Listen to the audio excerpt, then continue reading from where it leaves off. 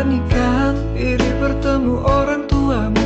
Bicara baik dari hati ke hati Restuilah kami, doakanlah kami Jadi pasangan abadi. Tunggulah aku menjadi imammu Dan tunggulah aku menjadi imammu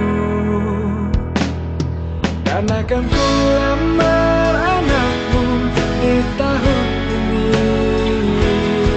Restui kami, doakan kami Jadi pasangan